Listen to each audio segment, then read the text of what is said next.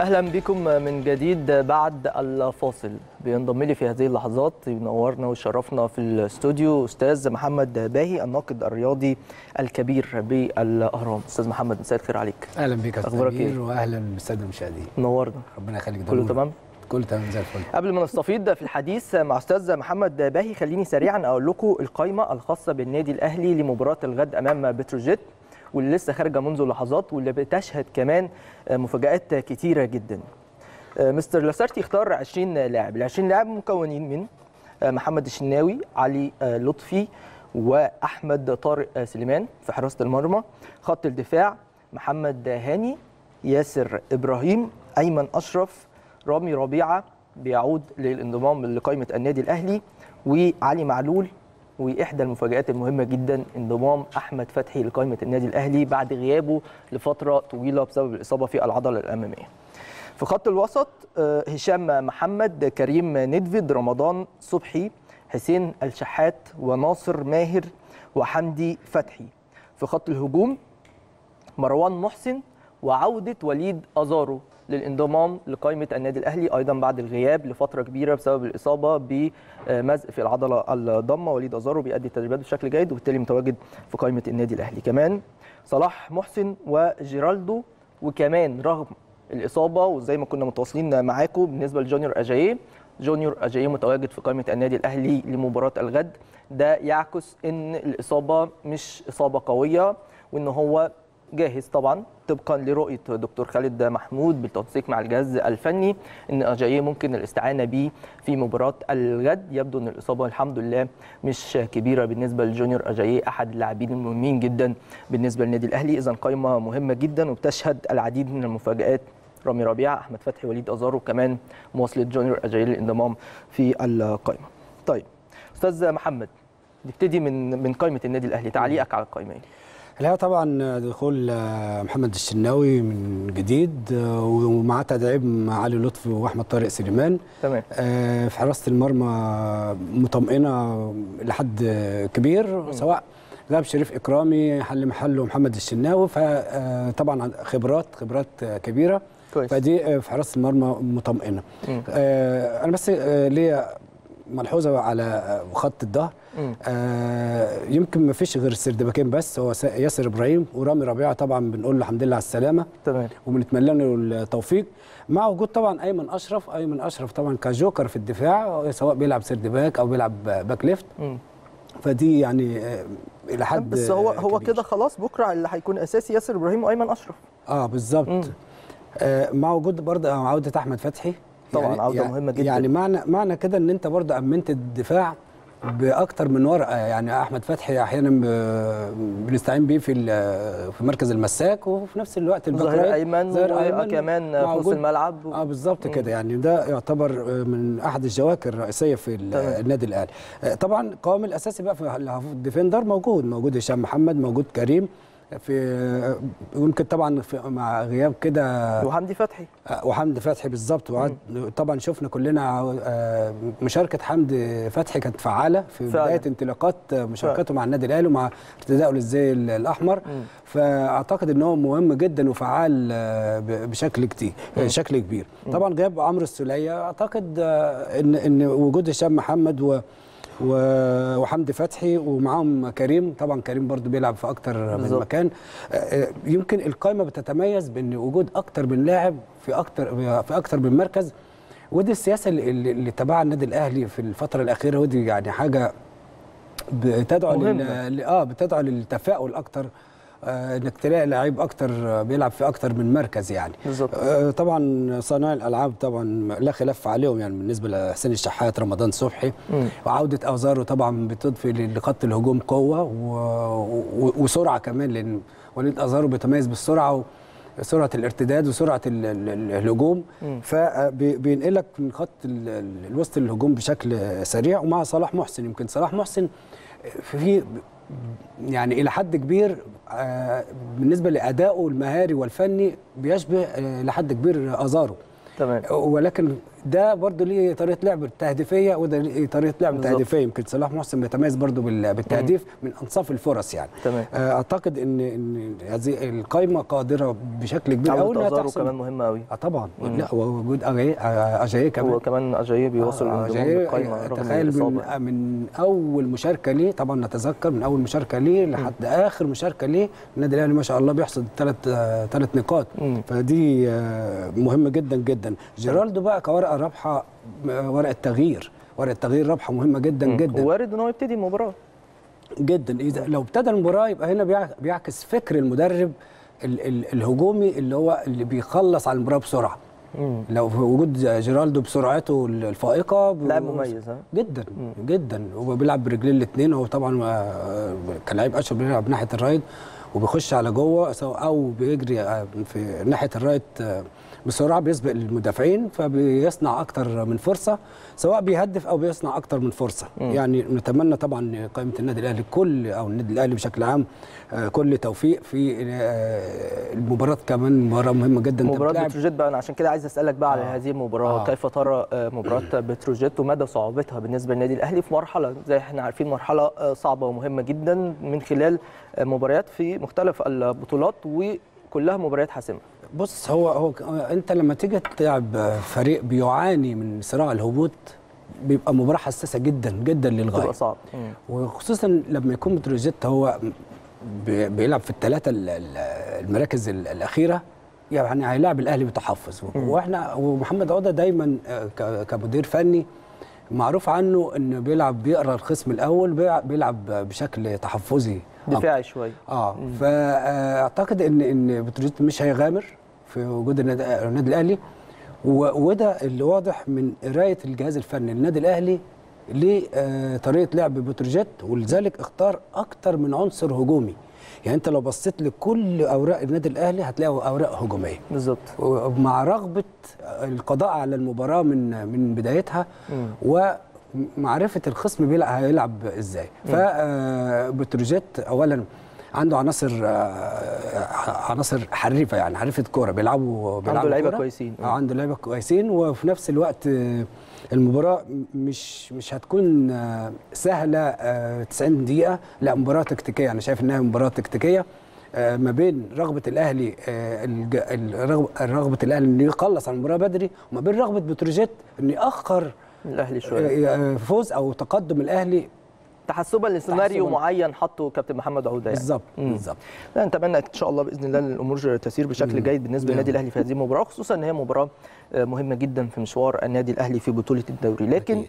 ده فيما يخص مباراة الأهلي وبتروجيت. لكن الفترة اللي فاتت كلها عايز أخد تقييم حضرتك للنادي الأهلي. قدر إن هو يفوز ثمان مباريات متتالية في آه، بطولة الدوري بيقرب بيهم آه، للصدارة. فارق أربع نقاط بس مع المتصدر نادي الزمالك. وكمان الجانب الأفريقي يعني إحنا متصدرين مجموعة ده هنتكلم عليه بس نتكلم عن الدوري الأول وتقييمك للنادي الأهلي خلال المرحلة الكبيرة الماضية. بص هو الأهلي طبعا حط حط في دماغه إن هو لازم يحصد النقاط تلو الأخرى. كويس. آه، في ناحية معنوية وناحية فنية. الناحية الفنية هو قدر إن هو آه، يوصل بعدد النقاط المرجوة والمستهدفة. كويس. لأنه عارف كويس قوي إن المنافس لما النادي الأهلي بالذات مش أي نادي تاني. مم.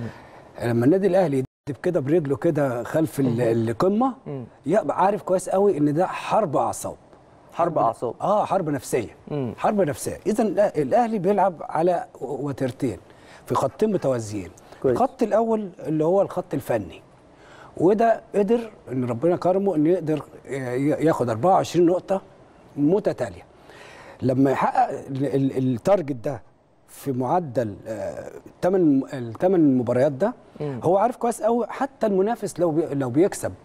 بس لو الأهلي بدأ بدأ الثمان مباريات دي رحلة الثمان مباريات مباراة تلو الأخرى تلو الأخرى يعني تحت حد الثمان مباريات لما يوصل للمباراة الرابعة ويوصل بقى يبدأ يعد أربعة خمسة ستة عشان يوصل لثمانية عارف كويس قوي إن المنافس بيهتز. كويس.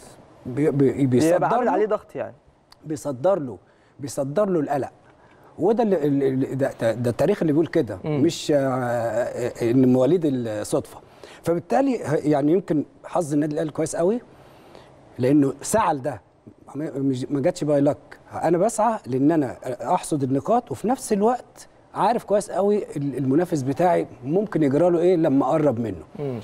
طبعا مباراته مهمة جدا جدا جدا أنا يعني لما أوصل لل top المثل بيقول لك إيه الوصول للقمة صعب والأصعب منه إن أنت تحافظ على إن. تحافظ عليه أنا لسه ما وصلتش للقمة بس المهم أوصل دي صعوبة صعوبة ده الهدف بالغة. الأول. ده الهدف مم. هيتحقق لو اتحقق الهدف ده هيساعدني إن أنا أحقق المرحلة الأصعب اللي هي الحفاظ وخصوصاً- على القمة. وخصوصا إن أنا مش المنافس منافس تقليدي منافس قوي طبعا نادي الزمالك نادي كبير لا آه، وبيأدي. موسم أكثر من رائع في آه الحقيقة يعني, يعني, مش مش أي مش أي منافس طبعاً. آه تاني أنا أهم حاجة عندي إن هو كان صاحب المركز الثاني إن أنا أتجاوزه مم. دي بتديني أسبقية أو أريحية لمده لدرجة 50% اللي هو بيراميدز يعني آه. آه. أنت دلوقتي متساوي معاه في النقاط لكن هم لاعبين زيادة عنك ثلاث مباريات لو أنت كسبتهم هيبقى فرق آه، تسع نقاط بالتالي. أعتقد انهم بره المنافسه خالص خالص يعني. أعتقد وهو ده المستهدف. وهو يعني لو نادي تاني أقول لك ممكن يبقى إيه كتف كتف بكتف مم. لكن أنا كنادي حققت التارجت بتاع 8 مباريات. لا وقدامي كمان ثلاث مباريات إن أنا آخد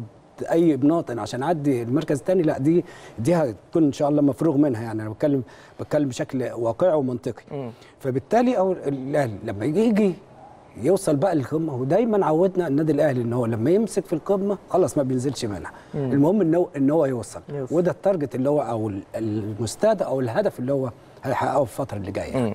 ده اللي حصل يعني من خلال الفترة اللي فاتت وطبعا النادي الأهلي قدر إن هو يوصل لمرحلة جيدة جدا في آه، بطولة الدوري. بالتالي أنا عشان كده عايز أسألك على بطولة الدوري بالتحديد رأيك فيها إيه آه، من الناحية الفنية وأيضا شكل المنافسة سواء في القمة أو في القاع. هل المنافسة في القمة منحصرة ما بين الأهلي والزمالك ولا ينضم لهم بيراميدز؟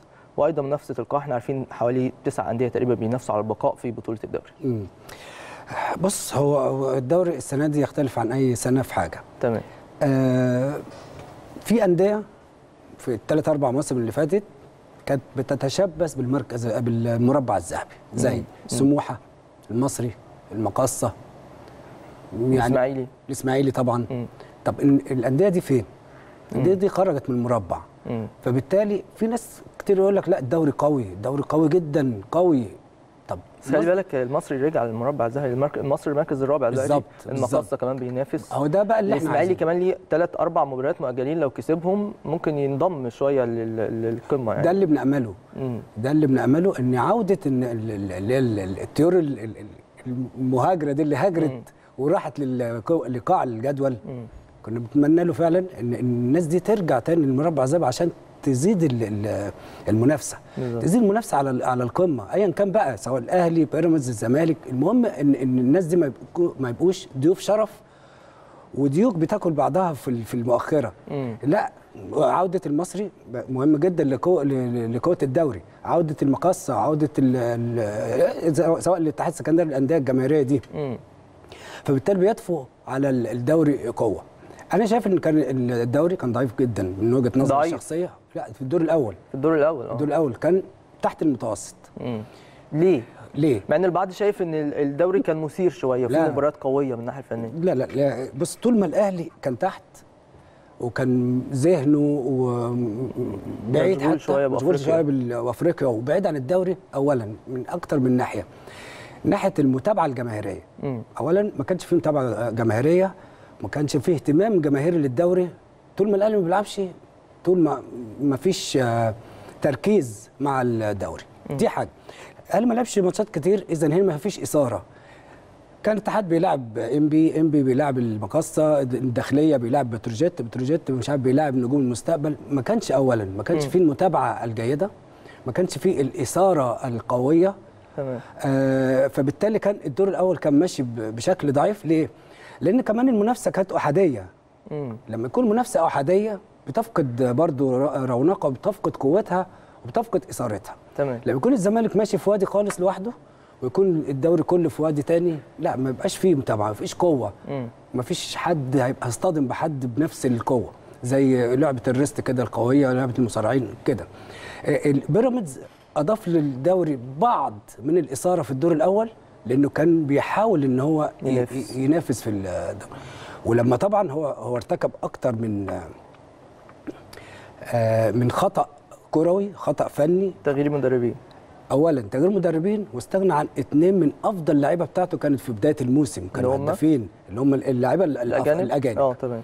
فما فاضلش غير لعيب واحد بس هو كينو. وهو وطبعا بس كينو في نفس الوقت هم ضموا عناصر قوية برضه يعني ما هو لما عمر خربين ده لعيب جامد قوي جدا. طبعا وعبد الله السعيد وأكتر آه. أكتر من لاعب عبد الله. في في. الصفقات بس أنت ضمتهم إمتى؟ يعني أنا أعتقد يعني في الوقت الضايع.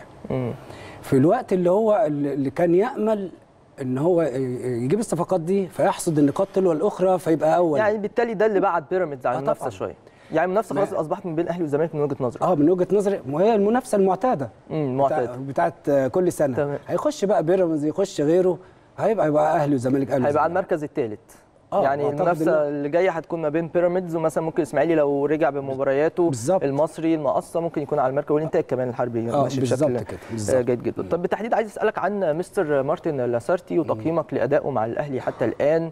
وهل الراجل خلاص يعني استكشف كل الأمور اللي بتخص اللاعبين والفريق خلال المرحلة القصيرة اللي فاتت؟ ما بقالوش شهرين تقريبا بالظبط مع النادي الأهلي. بص مستر لاسارتي آه، أو اوراقه أو هدفه آه، اتكشف بس بعد فترة. يعني. وده وده طبعا شيء يحترم جدا لأنه قفل على نفسه في البداية من أول ما جه. تمام. عارف آه، نقطة ال- أو حاجة الأهلي إيه؟ أو حاجة الفريق إيه. اولا واضح جدا وده صعب ولعب على الوتر الصعب. اللي هو؟ إيه- اللي هو إيه؟ أصعب حاجة إنك أنت تلعب على مهارات لاعيبتك وأصعب حاجة إنك تلعب على إمكانيات وقدرات لاعيبتك هو الراجل ده أصلا فكره فكره هجومي طبعا يتناسب مع طموحات النادي الأهلي وامكانات وقدرات ومكانة النادي الأهلي. تمام. لما أنا ألعب على القدرات الهجومية وأنا ما عنديش الأوراق اللي تساعدني على الكلام ده واصطدم بموضوع الإصابات وخصوصا الأوراق اللي هي في الثلث الأخير مم. اللي بتترجم مجهود الفريق إلى أهداف. فدي طبعا آه، دي تعجز أي مدرب تمام. حتى لو كان صاحب فكر. مم. هو قدر يعالج الموضوع ده إزاي؟ قدر يستغل أوراق لعيبته الفردية لصالح الفريق المهارية. تمام. يعني قدر يخ- يخرج من كل لاعب مهاري بدليل إن عمرو السوليه بيروح للجون دلوقتي. بيحرز أهداف. بالظبط. معناه بيحرز أهداف يعني بيروح للجون. وكريم ندفد وكريم ندفد اللي ما كانش م- حتى بيوصل الكرة لل 18 مم. فإذا هنا هنا طور من أداء لعيبته وقدر ياخد لعيبته إلى بر التهديف. فده شيء مهم جدا جدا. إذا هنا الراجل ده مش وليد الصدفة إذا الراجل ده كان بيفكر مم. ويقرر. قبل ما يقرر يفكر. تمام. يفكر طبقا لمعطيات الفريق ومعطيات لعيبته وقدرات آه، الفريق واللي قدر يوصل بيه. يعني أي أنا من اعتقادي الشخصي لو أي مدرب في العالم تاني مش ما عرفش يتفهم ظروف النادي الأهلي وظروف ال- الإصابات دي كان وقع. كانت الفترة دي هتبقى صعبة عليه جدا جدا. وكان خد الفريق هو الواضح إن هو. اتصرف بذكاء جدا. في فترة صعبة زي دي في الحقيقة سواء بسبب الإصابات وغيابات ناس كتير جدا. كمان مش الإصابات بس أنت عندك ضغط إنه أنت أول مرة في التاريخ نادي يلعب كل يومين ثلاثة ماتش أكيد، لفترة كبيرة تقعد شهر ولا شهرين بتلعب كل يومين ثلاثة ماتش ده شيء صعب جدا على أي جهاز فني. يعني. ضغط ال- المباريات بشدة. بس أنا أنا عايز أقول إن إن طلاقه مهارات المهارات الإدارية متمثله في مجلس الإدارة وفي, مج... وفي إدارة النادي الأهلي إن قدرت تجيب صفقات دي مهارات برضو. طبعا. وطلاقه مهارات الجهاز الفني بقيادة لاسارتي مهارات الفكرية الفنية. يعني طلاقه المهارات دي مع المهارات دي أنا عاجبني تصريح. المهارات الإدارية ده. يعني التعبير جديد يعني لا أنا يعني يعني واضح جدا الاهلي بيملك بيملك الملكة دي تقصد بيها يعني التفكير ال- الصحيح في الوقت بال- الصحيح. بال- بالوقت الصحيح آه. باللاعبين المناسبين آه،. دوام النادي الأهلي في مرحلة زي قدر. ينتفض في, في, في, في الوقت المناسب ويقدر يجيب اللعيبة اللي تتناسب مع قدرات لاسارتي كويس فدي طبعا آه، يعني يعني فكر يح- يحسدوا عليه يعني يحسد عليه النادي الأهلي. طيب بمناسبة ال- الأهلي والدوري المصري آه، بشكل عام النهاردة كان في مباريات قوية جدا في الدوري المصري. كان مباراة ال- المصري البورسعيدي مع طلائع الجيش انتهت بفوز المصري بنتيجة 1-0 كابتن إيهاب جلال في الحقيقة عامل شغل جامد جدا.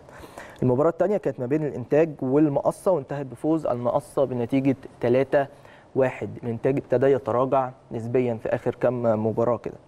فبالتالي أعتقد ده كانت مباريات قوية ونتائج آه، مهمة أكيد وهتفرق في ترتيب جدول البطولة أعتقد أكيد بص أنت لسه بتقول تراجع الإنتاج الحربي فعلا عارف ليه ليه اولا من يعني من صفات كابتن مختار مختار. مدرب كبير في الحقيقة كابتن كويس. مختار، آه. كل الفرق اللي مسكها بيبدأ من ال من from top to bottom. من ال من القمة. القمة الذهنية والقمة البدنية مختار مختار معروف عنه من ساعة ما مسك بتروجيت مثلا من من 10 زمان. سنين مم. كان معروف عنه ان ان ان, إن قاسي جدا في الناحية البدنية بيعمل من أفضل الناس اللي بتعمل فترات إعداد مم. فتلاقي اللعيب هو من كابتن هنا حلمي طولان بالمناسبة يعني أنا بالظبط. بسمع دايما إن هو آه. فترات الإعداد عنده بتبقى صعبة عنده قوي عنده عالية جدا مم. ال- ال- ال- ال- ال- القوة البدنية دي لما تكون عالية جدا في بداية الموسم لابد أن ينزل منحناها أثناء الموسم إمتى بقى؟ مم. على قد على ظروف ال- الفرقة وظروف اللعيبة. ممكن بقى تكون في نص الدور الأول نهاية الدور الأول بداية الدور الثاني ولأن أنت دخلت دلوقتي في ضغط المباريات كويس ضغط المباريات هنا بيكشف عملية ال- الاستعداد البدني والذهني من بداية الموسم. فهنا عشان كده الإنتاج محتاج أنت عارف الإنتاج ده لو مثلا قال لك إيه الدوري متوقف لمدة 10 أيام. هيجي بقى أنا على مسؤوليتي أهو. هيجي بعد ال 10 أيام هيبقى من أول من من أكتر الأندية اللي في في الملعب ويحصد نقاط. تمام. الإنتاج مش لاحق مش مش لاحق. مش لاحق. هو في الحقيقة في حاجات غريبة جدا في الدوري السنة دي. يعني مثلا بيراميدز بعد مباراته الأخيرة أمام الجونة أعتقد أو لعب بعديها مباراة وكسب أمام مقاولين العرب 1-0 عنده شهر ونص تقريبا راحة مش آه. هيلعب كورة خالص مش هيلعب ماتشات خالص. دي حاجات من الطرائف الغريبة يعني طبعا. في بطولة الدوري. لكن يعني خلينا نقول السنة دي سنة استثنائية. عايز أروح مع حضرتك لملف الأفريقي الخاص بالنادي الأهلي وكده كده عايزين نتكلم فيه سريعا لأن عايز أسألك عن بعض العناصر في فريق النادي الأهلي. شايف مسيرة النادي- الأهلي الأفريقية حتى الآن إزاي؟ بص طبعا الكل قال قبل مباراة سيمبا الثانية إن خلاص الأهلي يمكن. هيحقق رقم قياسي. طبعا آه مفيش فريق في بطولات أفريقيا تخطى ال 13 14 point. امم فبالتالي هو بس مجرد ما من 10 point يبقى قريب و و وبيبقى الأقرب للصعود لل semi-final آه، النادي الأهلي لما حصد سبع, سبع point وواجه فريق سيمبا هنا وكسب بخمسة آه الكل اعتقد انه هيروح يكسب هناك مثلا واحد اتنين بالظبط. ويبقى 10 point خلاص مم. وصل. بنسبة آه. 95% مم. آه، اللي, اللي, اللي أجل مش هقول بقى اللي صعب اللي أجل وصول النادي الأهلي هو خسارته من آه، سيمبا تمام. أعتقد إن هو إن النادي الأهلي في فوزه المباراة اللي جاية هيكون قريب جدا جدا قاب قوسين أو أدنى ويحط رجله في ال semi-final قريب قوي قوي أعتقد إن هو مش ال semi-final الربع النهائي أو الربع النهائي sorry فبالتالي آه، هيبقى قريب جدا من آه، هيبقى النهائي. بشكل رسمي خلاص لأن م- م- مباراة واحدة لكل الفرق في في المجموعة يعني لكن فرص النادي الأهلي كبيرة إن شاء الله كبيرة. جدا كبيرة جدا طيب بالتحديد عايز أسأل حضرتك عن اثنين لعيبة في النادي الأهلي وأنا السؤال ده. كنت سألته للكابتن محمد يوسف امبارح كان معايا في مداخلة وكلمته عن حسين الشحات ورمضان صبحي وقلت له تقييمكم إيه كجهاز فني ليهم وخصوصا إن هم بيتعرضوا لضغط كبير جدا من الإعلام آه. بشكل كبير ومن الجماهير المصرية في طبعا جمهور النادي الأهلي بيساندهم بشكل كبير لأن هم محتاجين المساندة إن إحنا نشوفهم إن شاء الله بمستواهم وهم أيضا بيأدوا مستويات جيدة. لكن أنت رأيك إيه؟ هل شايف إن في استعجال شوية من الناس على اتنين نجوم كبار زي دي حسين شحات ورمضان صبحي؟ بص هو طبعا حسين ما شاء الله عليه آه، لا لا غبار عليه وإحنا أنا بشكل خاص أنا كنت متابعه من أيام ما كان قبل ما يروح حتى شارع الدخان. تمام. يمكن كان في آه. آه، مدينة نصر وبعد كده راح شارع الدخان. أنا شفته في شارع الدخان بص عالمي في. شارع الدخان من تمام. أفضل سنين حياته اللي لعبها. ولما راح المقصة أبدع. اذا هنا اللاعب عنده أساسيات. كويس. لاعب كويس طبعا لا غبار عليه ولا يختلف كمان. ولا يختلف اثنان على مهارات. وإمكانيات حسين الشحات دي ناحية الناحية الثانية رمضان آه، صبحي رمضان صبحي مش ابن الأهلي مش ابن مش ابن مش لسه. عارفينه امبارح يعني بالظبط كده ولكن يؤخذ يؤخذ على ان ان إن حسين شحات من أغلى اللعيبة وأغلى الصفقات فما يعني إيه الناس كلها منه- مستني منه سوبرمان. بالظبط. يعني جاي يقفز على كل شوية يروح يجيب جون ويرجع الفرقة الثانية تسنطر يعني، آه. فبالظبط فيعني آه، و- وده أنا برضو يعني بحسد وبحيي آه، مستر لاسارتي. على إن هو مش آه، بيستخدم إمكانيات آه، لعيبته وبيستخدم مهارات لعيبته وعنده بدل حسين الشحات عنده اثنين وبدل رمضان عنده اثنين وهكذا. فبيستغل واخدين الفرصة بتحس تحس إن إن إن من الأسماء كلها كلها لعيبة أساسية مم. تحس إن هم أي واحد رمضان. وحسين أنت متوقع مزيد من التألق إن شاء الله ليهم. الفترة الجاية إصرار رمضان صبحي وبيعمل tackling بالظبط. يعني رمضان مش واخد من زمان على إنه ينزل ويعمل tackling و- و- والتحامات قوية وتبص تلاقيه بيجري بيجيب الكورة و... لا عنده الرغبة عنده الرغبة والإصرار. حسين يعني إيه عنده عنده مهارات ولسه ولسه هتتفجر أكتر في المباريات ال- اللي جاية. وأنا بقول لك الاثنين دول هيبقوا من مساهمين جدا في انتصارات النادي الأهلي في الوقت اللي جاي. طيب فرصة وحضرتك معايا أيضا. أنا عارف إن أنت متخصص شوية في دوري الدرجة الاولى. عايزين نعرف آه، نطمن على المنافسة إزاي سريعا وأقرب الفرق آه، للصعود. بص من من من آه، طبعا مجموعة الصعيد بالذات. دايما معودانا إن اللي بيمشي أول خصوصا في الدور الثاني بيمشي و- وبيوصل للنهائي. أسوان النهارده ف- فارق 9 point عن بني سويف أقرب ال- المنافسين ليه. آه، آه، أسوان ثم بني سويف. آه، يتبعوا بقى بعد كده الإعلاميين عامل فرقة كويسة. شاء اسوان. تعرض لهزيمة مفاجأة في آخر مباراة. قدام تحرير قدام أضعف أضعف فريق. تحرير أسوان. وخلي بالك ده تحرير أسوان كمان متعادل مع الدور الأول. بالظبط. يعني الفريق الوحيد اللي واخد منه أربعة point. لكن قريب هزيمة. أسوان. آه يعني قريب. عنده إمكانيات وعنده قدرات وعنده آه، آه، خبرات. خبرات سواء جهاز فني رغم إن مجدي عبد العاطي سنة أولى به. يعني أول مرة يبقى مدير فني في آه، الدوري في أي دوريات. تمام تمام. وطبعا إحنا سنه اولى به مسمينه بيه عشان ممتاز مم. وعنده آه، جهاز معاون كويس وعنده لعيبة آه، كويسة. مم. آه، الغريب بقى في المجموعتين الثانية والثالثه المجموعة الثانية خمسة بيتنافسوا على آه، نيل بطاقة التأهل. مم. يتقدموا طبعا ترسانة فرق point عن إف سي مصر. مم.